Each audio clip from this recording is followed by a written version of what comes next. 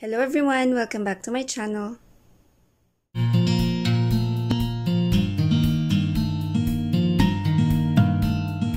Sa video na ito, gagawa tayo ng ukulele tutorial for the song Sabik sa Presensya Mo by Faith Music Manila. Bagong lahat, we have to make sure na nakatono ang ating ukulele sa standard tuning of G, C, E, A. G, C, E, Sa tutorial na ito, gagamit tayo ng 6 chords and these are G, D, E minor, and C. G, D, or we can play the D like this, and then E minor and C.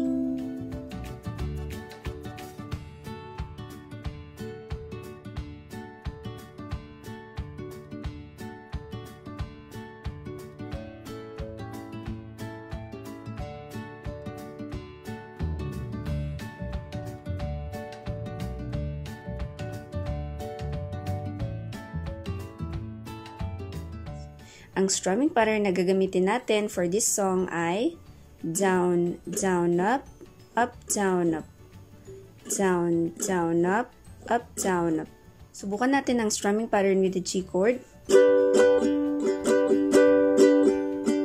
Down, down, up, up, down, down, up, up, down, up.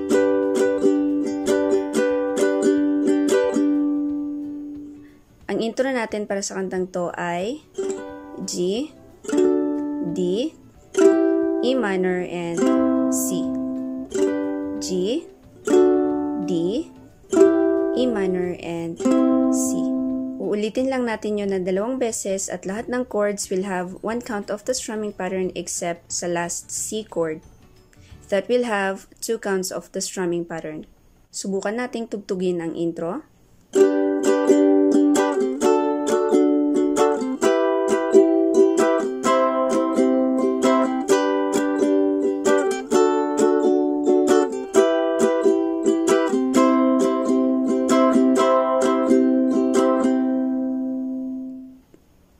Moving on sa first verse ng ating song, ang ating chord progression ay G, D, E minor, and C.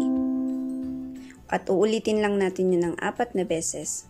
And all the chords will have one count of the strumming pattern except sa last D chord. That will have two counts of the strumming pattern. Simulan natin sa G chord, one count of the strumming pattern. Ako ay nai D, one count of the strumming pattern.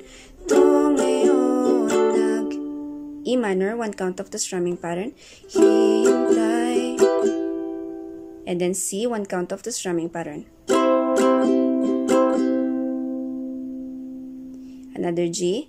Inaasam. D, asam presensya. E minor. Mo'y muling. C, maranasan. Another G.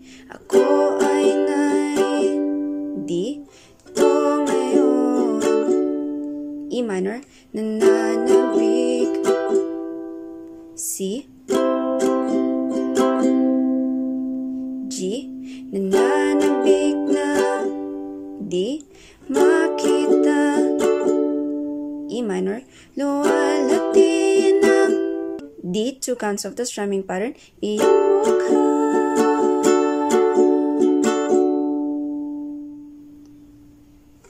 Kantayin natin ang buo ang verse 1. Ako ay narito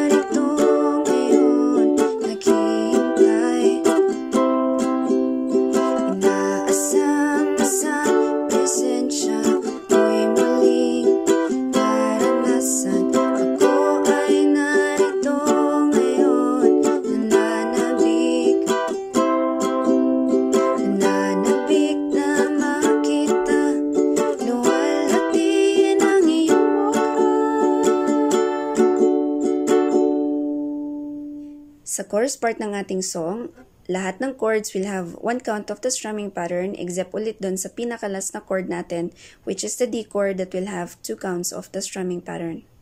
Simulan natin sa G chord. Sumasayaw na di nga sa G. Kalak mata di wa Si.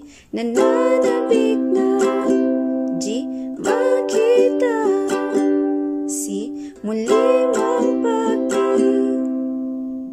Two counts of the strumming pattern. Sita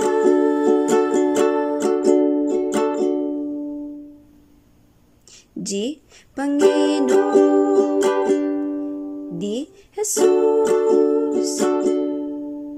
G. Malaya, malaya D. Ka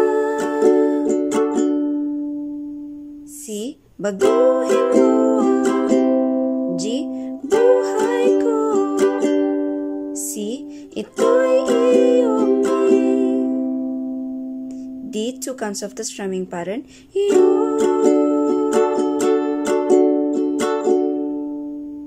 Kompletuhin natin ang chorus part.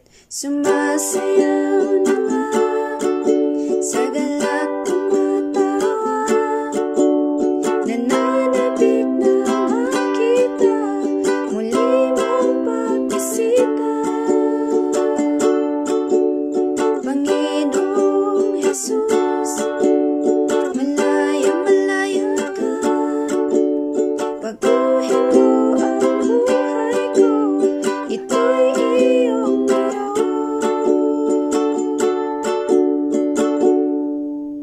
Pagkatapos nun, ulitin natin ang verse 1 at chorus part ng ating song with the same chord progression and strumming pattern. See you lang guys! Thank you so much for watching until the end of this video at kung may natutunan ka sa video na ito, don't forget to give it a thumbs up and subscribe to my channel kung hindi ka pa nakapag-subscribe sa ating channel. Another reminder from Ephesians 5.19 that says, Sing and make music from your heart to the Lord. Kita-kits ulit tayo sa mga susunod na tutorials. God bless you and stay safe!